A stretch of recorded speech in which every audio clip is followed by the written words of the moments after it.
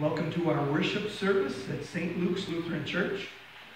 We're glad that we are be, uh, being able to record once again to continue to get the message out there to the people that are not able to get back to church at this time or those who do not feel that it's quite safe enough to do that. Uh, just a, a, word of a, an announcement that if our governor would determine that the entire state would need to wear face masks indoors, uh, we would be complying with that. And we do have some extra face masks, masks in the entryway now, and we would be getting more, and just encouraging people to do that. Because we're not technically in the city limits, uh, we're not requiring it at this time, but it's still always a very good idea. Our opening hymn is page 54, O Gracious Light, page 54, front of the hymn.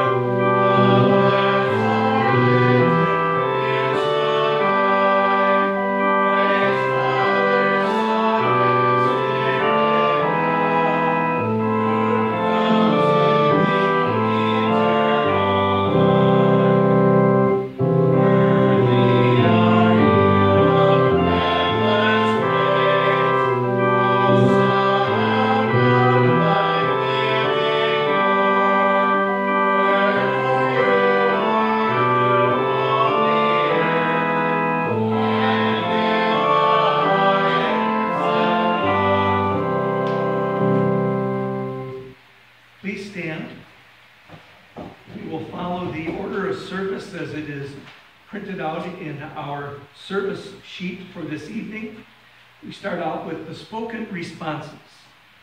Lord Jesus, you are the light of the world. The light no darkness can overcome. Stay with us, for it is evening and the day is almost over. Surely I am with you always to the very end of the age. Your light will rise in the darkness, and your night will become like the noonday. The Lord will guide you always. Your sun will never set again, and your moon will wane no more. The Lord will be your everlasting light, and your days of sorrow will end. On no day will the gates of the holy city ever be shut. For there will be no night there. The Lord be with you. And also with you. Let us pray. God of all power and might, you are the giver of all that is good. Help us love you with all our heart. Strengthen us in true faith. Provide us with all we need. And keep us safe in your care. Through Jesus Christ, your Son, our Lord, who lives and reigns with you and the Holy Spirit, one God, now and forever.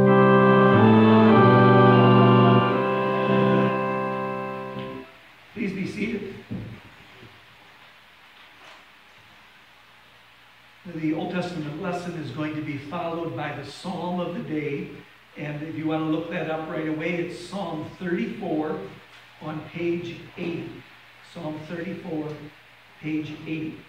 And we'll say that responsively. Our Old Testament lesson for the fourth Sunday in the season of Pentecost, 1 Kings 17, verses 1 through 16. Elijah from Tishbe, one of the settlers in Gilead, said to Ahab, As surely as the Lord lives, the God of Israel before whom I stand, there will be no more dew or rain during the coming years, except at my word. Then the word of the Lord came to him. Leave this place and turn east. Hide yourself in the Kerith ravine east of Jordan. You will drink from the stream, and I will command the ravens to provide for you there. So Elijah went and did just as the Lord had said. He lived in the Kerith ravine east of the Jordan. The ravens brought him food and meat in the morning and in the evening, and he drank from the stream. After some time, the stream dried up because there had been no rain in the land. Then the word of the Lord came to him Get up, go to Zarephath, which belongs to Sidon, and live there. I've commanded a woman there, a widow, to provide for you. So he got up and went to Zarephath. He came to the city's gate, and there he saw a widow gathering sticks. He called to her and said, Please give me a little water in a jar so that I can have something to drink. And when she went to get it, he called out to her, Please bring me a piece of bread. She said, As surely as the Lord your God lives, I have no food except for a handful of flour in a jar and a little olive oil in a pitcher. See, I am gathering a couple of sticks so that I can go and prepare it for myself and my son so that we can eat it and then die. Elijah said to her, Do not be afraid. Go and do just as you said. But first, make a small loaf of bread for me from the flour and bring it out to me. Then go and make another for you and for your son. For this is what the Lord, the God of Israel, says The jar of flour will not run out, and the pitcher of oil will not become empty until the day the Lord sends rain to water the surface of the ground. So she went and did exactly as Elijah said. He and she, as well as her household, were able to eat for many days.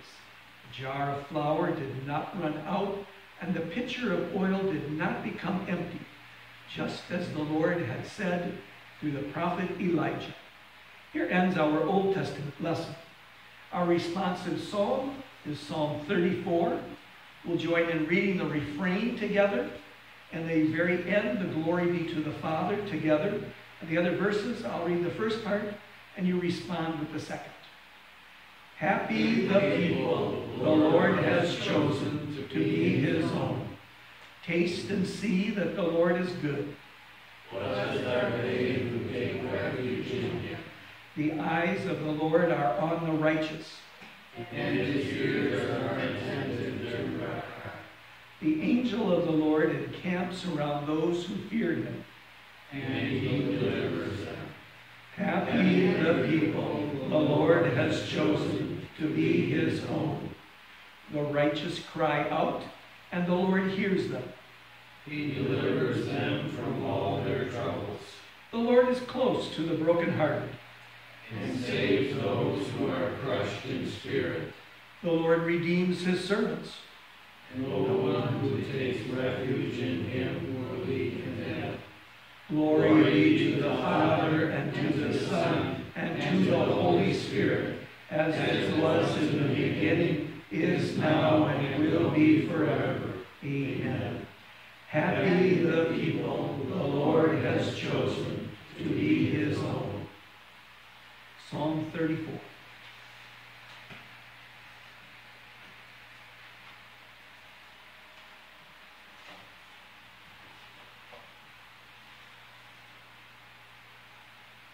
Following the epistle lesson, there is the seasonal response that is printed out in our service handout.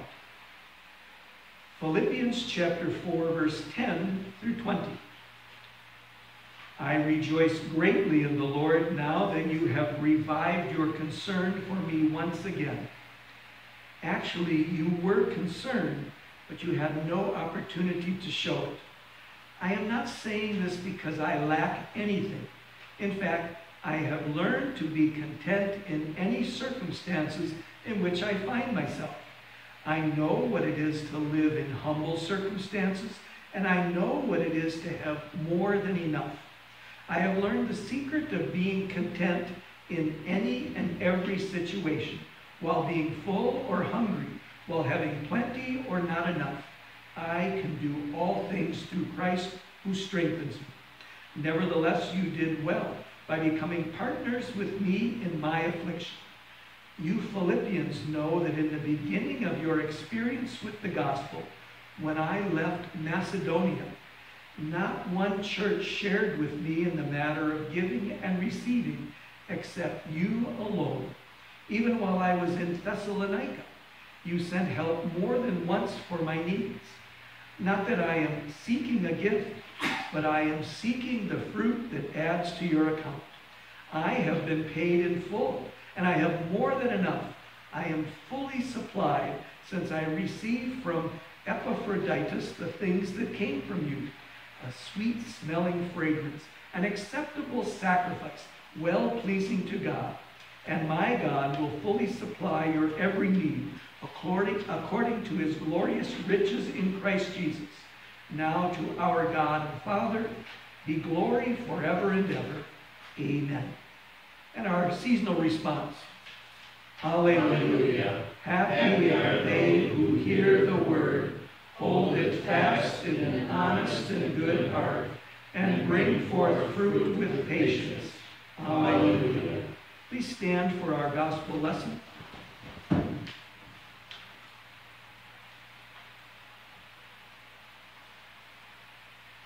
The Holy Gospel is recorded in Luke chapter 10, verses 1 through 12, and then verses 16 through 20. After this, the Lord appointed 72 others and sent them out two by two ahead of him to every town and place where he was about to go. He told them, The harvest is plentiful, but the workers are few. So ask the Lord of the harvest to send out workers into his harvest field. Go your way. Look, I am sending you out as lambs among wolves. Do not carry a money bag or a traveler's bag or sandals. Do not greet anyone along the way. Whenever you enter a house, first say, Peace be to this house.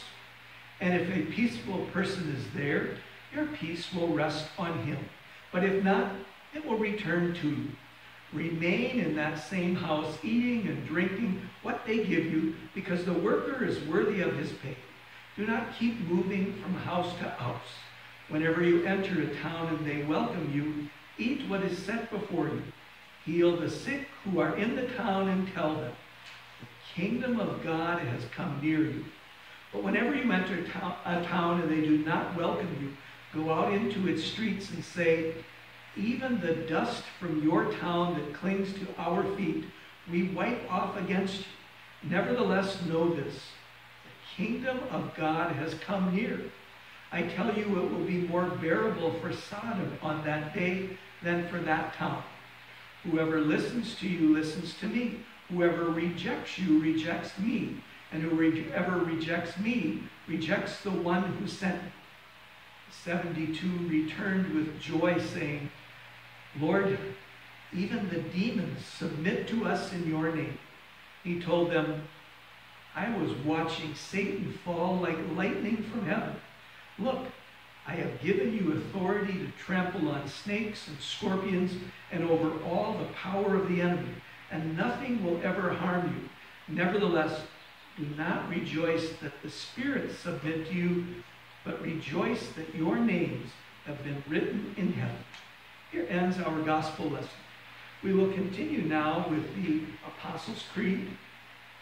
And the best place to follow that along with, if you would like to, is on uh, page 19 in the front of the hymn. I believe in God the Father Almighty, maker of heaven and earth. I believe in Jesus Christ, his only Son, our Lord, who was conceived by the Holy Spirit, born of the Virgin Mary, suffered under Pontius Pilate, was crucified, died, and was buried. He descended into hell. The third day he rose again from the dead. He ascended into heaven and is seated at the right hand of God the Father Almighty. From there he will come to judge the living and the dead. I believe in the Holy Spirit, the holy Christian church, the communion of saints, the forgiveness of sins, the resurrection of the body, and the life everlasting. Amen. Please be seated for our next hymn, hymn number 518, Forth in the Peace of Christ We Go, 518, verses 1 and 2.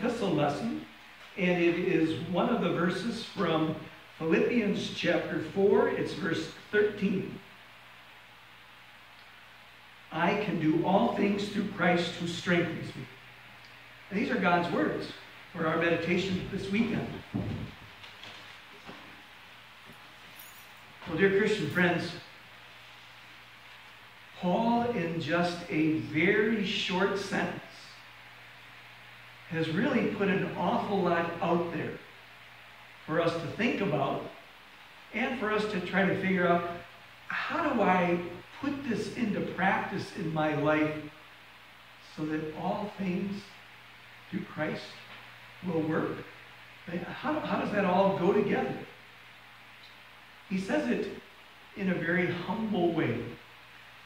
And it's important that we always listen to the entire verse of what is being said right here. I can do all things through Christ who strengthens me. If you would stop right after I can do all things, you would immediately know something pretty important is missing because you would be sounding boastful. You would be sounding confident, obviously, but ignorant at the very same time. A master of many, or a jack of all trades, but a master of none. It's possible for us to be good at a lot of different things, but to be great at everything, that is impossible. And so as Paul speaks in these words, he adds the most important lines that go with it right away. I can do all things through Christ who strengthens me. And when he adds those just slight additions, and they aren't disclaimers, but they are important aspects to that phrase, through Christ who strengthens me, then we began to take a look at the life of Paul and see, was he really able to do that? How could he do that? And how do we as Christians, who also believe that when Paul speaks to us in this chapter 4 of Philippians, that when we read those verses and say those verses, that they're verses for us at the very same time. Well, for Paul to say that, we know that that was not boastful. Now, last week in our epistle lesson, we heard from Paul as well and he was making some comparisons. Some people in the Jewish line have these things that they pat themselves on the back for, and then he added, and I got that and more. And then the next one, and the next one, and the next one. And with all of those things, he kept on saying, I've got all of that and more. And then his next phrases went on to add, but I consider that all rubbish with the incomparable knowledge of knowing Jesus Christ as my Savior. Sometimes when we have too many good things that we give ourselves credit for, eventually we come to the conclusion or the decision that we either don't need Christ or that we're so good that anything that Jesus could add for us really wouldn't add that much. And yet God wants us to get those kind of boastful thoughts out of our minds, out of our hearts, and out of our lives completely because without Christ, we have to recognize and realize who we are, what we're bringing to the table, and the acknowledgement that none of it is good at all without Christ. And so that was Paul's situation. He was a rising star in the Jewish church. He was advancing quicker, faster than anyone else of his age, and people were really starting to think this young man could be someone really important because he's doing all the Old Testament requires and requirements, and he's doing them above and beyond.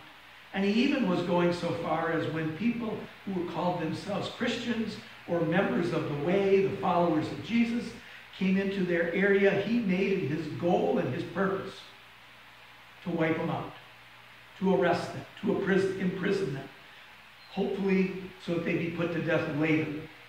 And that's what happened to Stephen, one of the early Christian martyrs uh, in the early Christian church.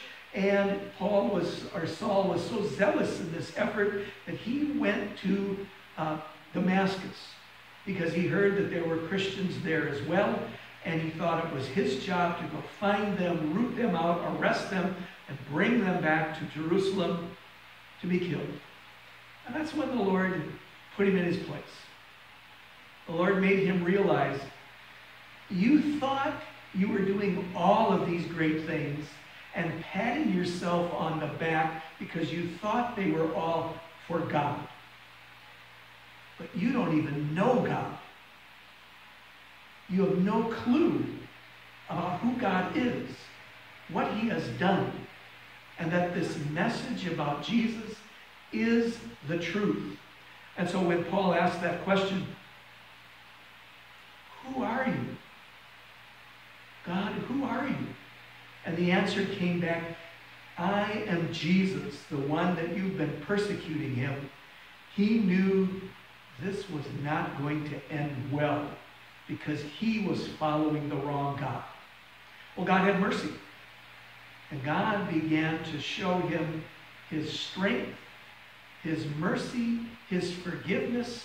And God said, You've been all doing all of these great things that you thought were for the one true God, but were not. Now, we're going to get you into the service of the one true God Father, Son, and Holy Spirit, and you're going to be telling people about Jesus. And that's what his life became as his name changed from Saul to Paul. The missionary, the writer, the preacher, the speaker, the counselor, the founder of many churches, the visitor of many churches, one who would pray for people in their time of need and encourage in every way that he could and nothing stopped him. Now, there would be riots. There would be times where he was arrested. But none of those things stopped him from carrying out his activities. And the book of Philippians is proof of exactly that because Paul writes the book of Philippians from jail. He's imprisoned. And yet, this is a book of joy. This is a book of confidence. This is a book of, I can do all things through Christ who strengthens me. I'm not giving up. I'm not uh, dropping everything that I'm doing and saying that it was worthless. I'm going to keep on doing that. And when he had visitors, he continued to send messengers back and forth. His letters became famous. His 13 writings, not all of them written from prison, but his 13 letters, his epistles, are ones that we have included in our Bible. And we get to hear about the life of Paul. He went forward.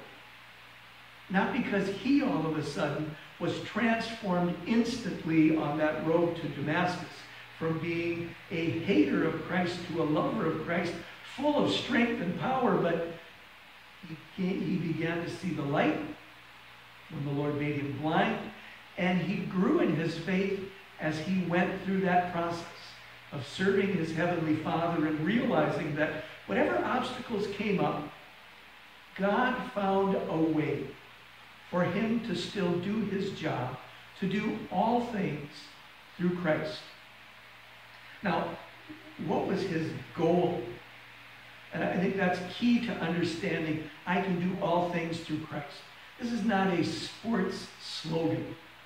It's used many times as one, but this is a Christian life slogan. What are the things that Christians want to do? We want to reflect the glory of God in all that we say, think, and do. We want to act, to live, to have everything that's going on in our lives focused and dedicated to our relationship with God Himself. And it is those things that the Lord promises that He will give us strength, strength and abundance. And He will continue to work these things out for our good as we strive to go forward in this world. And so I can do all things needs to have those last words on there through Christ who strengthens me.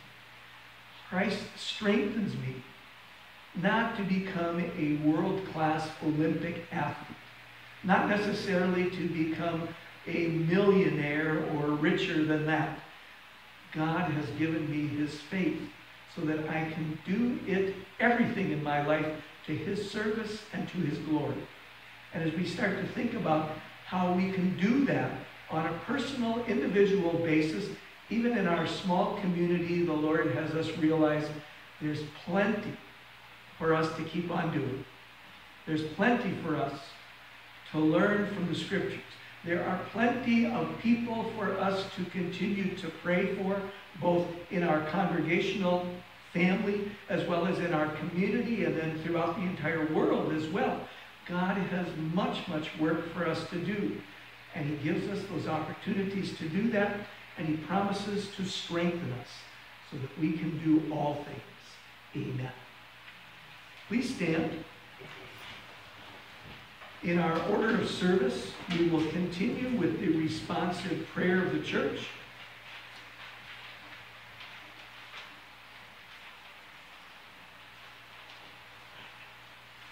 In the closing hours of this day, hear us as we pray, O Lord. Lord, have mercy. For the well-being of people everywhere, for the growth of your church in all the world, and for the strengthening of all who serve and worship here, we pray, O Lord. Christ, have mercy. For one another, young and old, for your blessings that come with every stage of life, and for joy in doing your will, we pray, O Lord. Lord, have mercy. For our public servants who work day and night to bring protection, justice, learning, and health to this and every place, we pray to you, O Lord. Lord, hear our prayer. For favorable weather and bountiful harvests, for clothing and good, it should be for clothing and food, for health of body, mind, and spirit, and for deliverance from all sin and every form of evil. We pray to you, O Lord. Lord, hear our prayer for the faithful who have gone before us, who have shared with us your good news, whose souls are now at rest in your heavenly kingdom. We give you thanks, O Lord. Thanks be to God. We have some special prayers this evening before we finish the responsive one. We offer a prayer on behalf of Mary Bratz, who has gone back into the hospital, into intensive care. We ask that the Lord would be with her. And we also have a prayer uh, on behalf of Sue and Jamie McNally, who are going to be celebrating their 25th wedding anniversary this week. Lord Jesus, according to your will, relieve the sicknesses that have come upon your servants, and especially your loved one, Mary Brox. Restore and renew health and strength so that they may once again serve you in their daily lives. Until this time of gracious restoration, assure Mary and all of us of your presence and love by pointing us to your cross. There, the eternal consequence of sin was removed, assuring us that at the last day we will be free from all sickness. In your holy name we pray. We also come to you today, Lord, on behalf of Sue and Jamie McNally. Lord, you were present at the wedding feast in Cana. We ask that you would continue to be the guest at all marriages and be a blessing to all married couples. For Jamie and Sue, who are celebrating their 25th anniversary, continue to bless their home with your presence. Bless husbands to love their wives as you love the church. Bless wives to respect their husbands. Thank you for the marriage relationship that brings husband and wife together to grow in love. And bless them to be a blessing to their families and to all of us. In thanksgiving for your many and varied gifts to us, we now commend ourselves to your care. Be our shield and strength, O Lord. Amen. We'll join in Luther's evening prayer. I thank you, my heavenly Father, through Jesus Christ, your dear Son, that you have graciously kept me this day. Forgive me all my sins, and graciously keep me this night. Into your hands I commend my body and soul and all things. Let your holy angel be with me, that the wicked foe may have no power over me. Amen. May the blessing of the eternal God be upon us, his light to guide us, his presence to shelter us, his peace to unite us.